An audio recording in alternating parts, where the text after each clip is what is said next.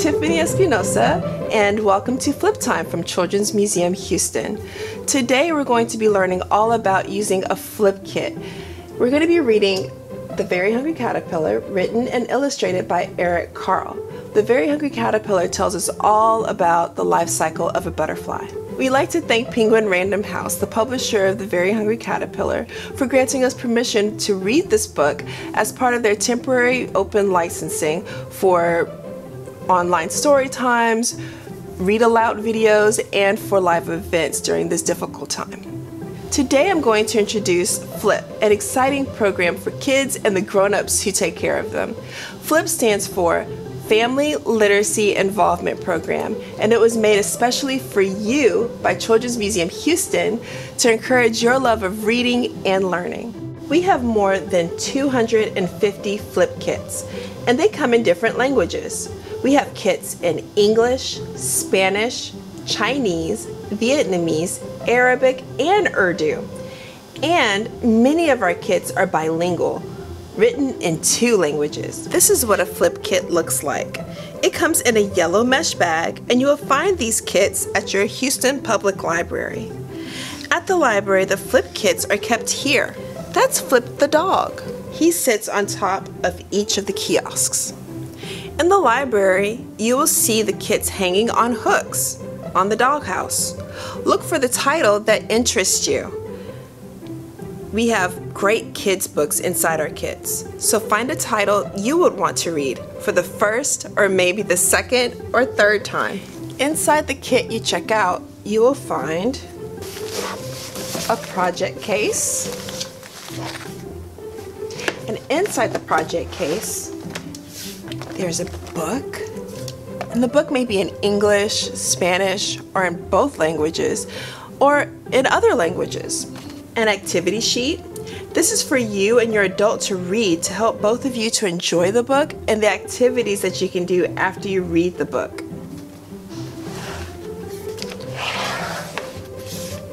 A supply sheet. These are the things you need to return to the kit when you are finished reading the book and do the activities supplies. These are things you will need to complete all the fun activities you would do with your grown-up. And then there's some papers. These papers are for your grown-up who is helping you. Some are for your grown-up to keep, like these milestone sheets. In this paper, the survey is for your grown-up to write on and return to the library. If you do that, you get a ticket for six people in your family to come to the Children's Museum Houston for free. So let's look at the flip kit for The Very Hungry Caterpillar by Eric Carle. We'll read this book together now. The Very Hungry Caterpillar by Eric Carle. The Very Hungry Caterpillar. In the light of the moon, a little egg lay on a leaf. I wonder what might be inside. Let's find out. One Sunday morning, the warm sun came up and pop! Out of the egg came a tiny and very hungry caterpillar. Hmm. He started to look for some food. On Monday, he ate through one apple, but he was still hungry. On Tuesday, he ate through two pears, but he was still hungry. On Wednesday, he ate through three plums, but he was still hungry. On Thursday, he ate through four strawberries, but he was still hungry. On Friday, he ate through five oranges, but he was still hungry. Oh my, that was a lot of fruit. What more can he eat? On Saturday, he ate through one piece of chocolate cake, one ice cream cone, one pickle, one slice of Swiss cheese, one slice of salami, one lollipop, one piece of cherry pie, one sausage, one cupcake, and one slice of watermelon. Oh my, all of that in one day. Did you find your favorite food? Here? Mine is cheese. oh, but that night he had a stomach ache. Mm, does not feel well. The next day was Sunday again. The caterpillar ate through one nice green leaf. And after that, he felt much better. Do you feel good when you eat green things like spinach and broccoli? Now he wasn't hungry anymore. And he wasn't a little caterpillar anymore. He was a big, fat caterpillar. Mm. He built a small house called a cocoon around himself, and he stayed inside for more than two weeks. Then he nibbled a hole in the cocoon, pushed his way out, and what do you think? He was a beautiful butterfly. The end. So for the Very Hungry Caterpillar, we will be doing a math activity using a graph. So we have our colors, our color paper here. And you can get some color paper from home and make a line across to make um, to make a graph. They'll be the same um, the same spacing apart. And we have some different color fruit. And we'll have some different types of fruit. We have oranges, apples, bananas, and pears. And what we'll do is we'll sort them out. So let's take a look. We have some apples and we can put them on our red, since they're the color red, our red graph. And we'll see how many of those we have. Let's see, so I have one, if you can count with me, two, three, four, five, six. And if you see, if you look here, each fruit gets its own space. So make sure you don't put two fruits in one space. No. Each one gets its own space. That's called one-to-one -one correspondence. One to each its own space. And then we have our oranges in the orange section. One, two, they don't want to stay put, three, four, five, six. And I wonder how many bananas we'll have. And they're the color yellow, so we'll put them in the yellow section. One, two. And then we have our green pears that will go in the green section. One, two, three, four, five. Now let's look at our graph. What do we have the fewest number of fruit? Which color? Is it this one, our green one, our yellow one, our orange one, or our red one? This looks like it has the fewest. Let's see, one, two. It has two bananas. That's the fewest number of fruit. Now let's see which we have the greatest number, the largest number of fruit. This one looks, these two look like they have the most. One, two, three, four, five, six. One, two, three, four, five, six. They both have the same amount and they're both the largest number. So our apples and our oranges have the most fruit in them. So now we can sort and graph lots of different things. I have here some things that we found right here in our library. So if you want, you can go and look around your house and look for some items in your house that you can graph and sort. But if you want to stick around right here, you can sort these out and graph them with me, okay? So here I have some markers. Let me get these out of the way. We have markers. We have different types of clips, paper clips and binder clips. Let's see, we have some rubber bands, and some screws. So now we have them all sorted into their groups. Now I wonder which one would be the bigger number. Which one do we have the most of? Would it be these really big markers? These small clips? These small screws? Or these medium-sized rubber bands? What do you think? What do you think we're going to have the biggest number of, of items? Which of these groups? Let's go ahead and graph it and see how many we have of each. Okay? So we have one, two, and three. And if you remember, each object gets its own space. We don't want to put more than one object in each space. And then our clips, one, two, three. Hmm. Then our screws, one, two,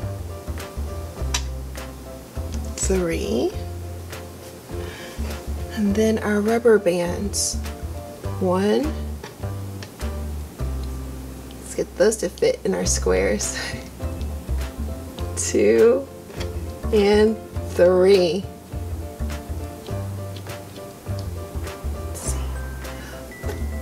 Well, what do you what do you know? They're all the same number. There are three markers three clips, three screws, and three rubber bands. I was for sure that this would be the, the, the most because they're so big, but no, they're the same amount. Huh. So, like I said, look around your house, see what other objects you can find to graph, um, and see how you can sort them into different shapes, different colors. Um, here we have different uses. We have writing instruments, clipping things, tools, binding instruments, um, all different types of ways that you can sort your objects, even your toys, okay? And see how many of each you have. I hope you enjoyed this flip kit and activity. We encourage you to visit your library when it opens again and check out some more of our flip kits. In the meantime, go out into your neighborhood and look for caterpillars and butterflies. You'll be surprised to find that there are lots of caterpillars and butterflies crawling and flying about. Joining us today is our Director of Outreach, Armando Orduña, and his children, and they're going to demonstrate an activity we call Building Little Strong Little Sailors. So now it's time for us to sing Row, row, row your boat. So everybody grab an oar. Row, row, row your boat gently down the stream. Merrily, merrily, merrily, merrily, life is but a dream. Rock, rock, rock your boat gently down the stream. If you see a crocodile, don't forget to scream. Ah! Row, row, row your boat gently down the shore. If you see a lion, don't forget to roar. So now let's do another flip activity together. This time we'll read Walking Through the Jungle. And this is all, this is a really fun singing book and you can sing it along with me. I'll sing the first line and you can repeat after me the same line. And we're going to see lots of different habitats and lots of different animals that live in each of those, those habitats. Walking Through the Jungle. And this is written by Debbie Harter. Look, this little girl's carrying a monkey. I wonder what other animals we're going to be seeing. Walking Through the Jungle, illustrated by Debbie Harter. Walking through the jungle, walking through the jungle, what do you see? What do you see? see what animals we can see. I see a parrot, some pretty interesting butterflies, a monkey. Hmm. I think I see a lion. Roar, roar, roar. Chasing after me, chasing after me. And now we're in the ocean. Look at all the interesting animals in the ocean, like a, a sea turtle, lots of different types of fish. Hmm. Even this little aquatic bird. Let's see. Floating on the ocean, floating on the ocean. What do you see? What do you see? I think I see a whale whoosh, whoosh, whoosh, chasing after me, chasing after me. Hmm, where are we gonna go next? Let's see.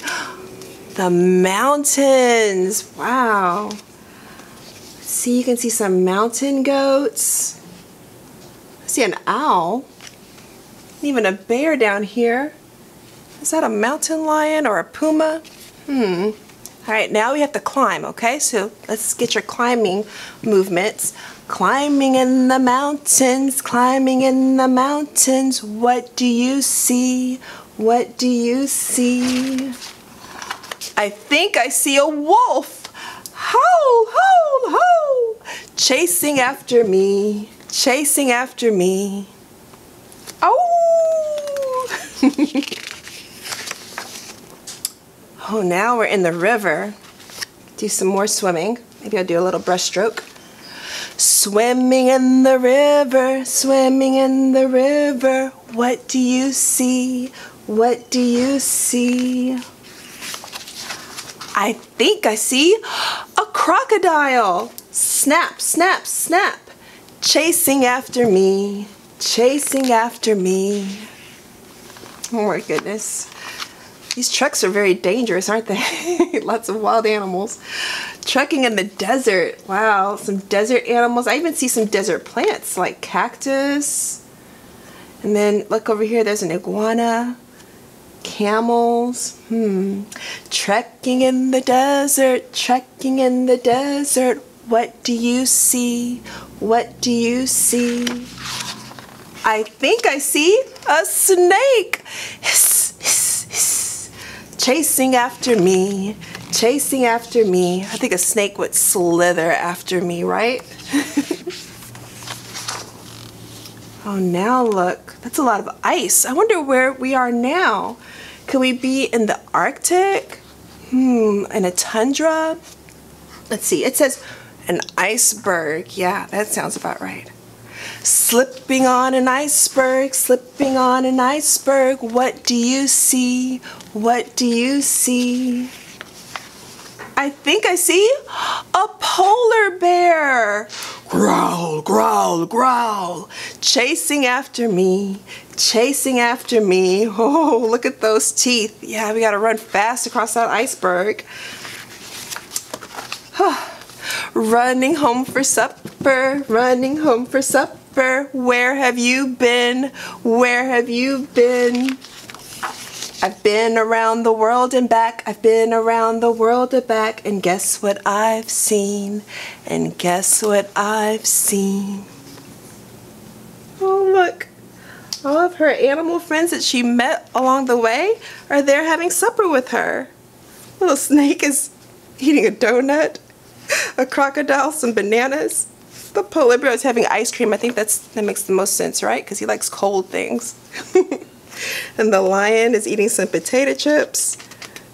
And look, look at the whale. He's spouting some water into her cup. That's cute. And the wolf is eating apples. They lie down for a nice little nap. The end. Well, I hope you enjoyed our book, Walking Through the Jungle. Now we can do our activity. So looking at my instructions, it says that we just read a book about six different habitats and the animals that live in them. So we're going to be looking at some habitat cards and some animal cards and trying to match them up together. So I'll take those out right now. A few right here. I have something that's like a snowy tundra. It's a very colorful coral reef under the ocean. Hmm, that kind of reminds me of the savannah. Like a prairie savannah. In here, it's a pretty, um, pretty prairie with lots of flowers. I wonder what would live there. And this looks like, hmm, a view from below and in a forest. So those are my habitats. Now I'm going to I'm going to look at my animals and my insects that could live in those habitats. So the first one I have is a caterpillar. Now, where do we see caterpillars? I'm going to think about some things that caterpillars like to eat. They like to eat leaves, parts of plants. So they would need something that's growing on the ground. I don't think they would live in the ocean. What do you think? No, I don't think so. They would probably like, what, flowers? Yeah, they would probably like to live in the prairie so they can eat on those leaves and get ready to be lovely butterflies that suck nectar from those flowers. I'm to match up my caterpillar with the prairie. Next up I have what looks like Arctic wolves. Hmm. The Arctic wolves, they like to live in places that are cold. So, I don't think they would live in the savannah. The savannah is pretty hot and dry. Here in this these woods, there's a lot of color there. There's a lot of green. So I don't think that it'll be very cold there either. I think it'll be pretty nice and warm, lots of sun, right? What do you think about this? What do you think the tundra looks like? The tundra, is it very lush? Does it have a lot of plants growing? Is it very bright or is it very cold? It looks pretty cold to me. That looks like a lot of snow, right? Like it's winter. Think an Arctic wolf would like to live in somewhere where it's very cold and snowy in the winter. Oh, and what is this? You remember that animal? That's a lot of people's favorite animal. It's a lion, right? We saw the lion in our um, in our book there. This lion, where could he live? Would he live underwater? Hmm. I don't think I don't think um well some cats do like the water but lions not so much right? Um in the woods? Hmm. No I think the lion would like to eat somewhere would like to live somewhere where there are um, lots of antelope to eat lots of um, of animals that are going around in the savannah right? Lions with their elephants and antelope Okay, let's take a look here. Wow, look at this colorful fish. That is so beautiful. Look at all of the bright blues, oranges, and red. Hmm. Now, I'm noticing something interesting about all of the places that we've picked.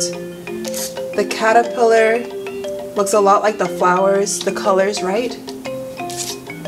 That are found in the flowers the wolf, he's white and the snow is white, so he can hide there or he can camouflage. The lion, too, he can probably hide and wait for his prey in the brush of the savannah because it's about the same color. So I would think that our fish, he would need some place to hide um, to camouflage himself from sharks or whales or any other type of big fish that would like to eat him. So looking at these two places,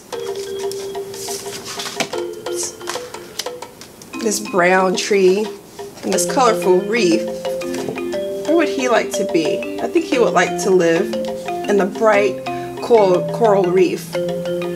Not only that, but I think he would also like the water, right? of course, a fish would live underwater. I think this is his habitat. And last but not least, a moth.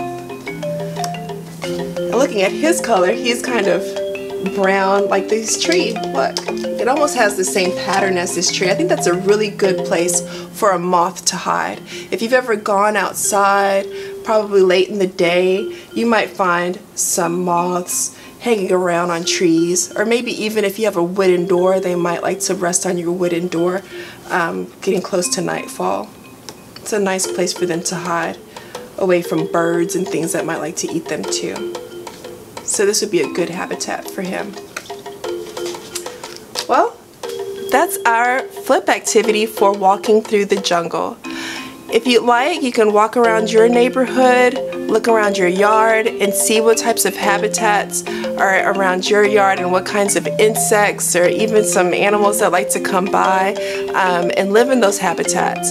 Or you can look on the internet of different habitats, jungles, tundras, um, woods, lots of different things and see what types of animals live in each of those different places. Pay attention to their colors and look up the type of things that they like to eat and see what's available to them in their habitat. Well, I hope you enjoyed doing the flip activity and reading the story Walking Through the Jungle with me today. Thanks for joining me and hope to see you again soon.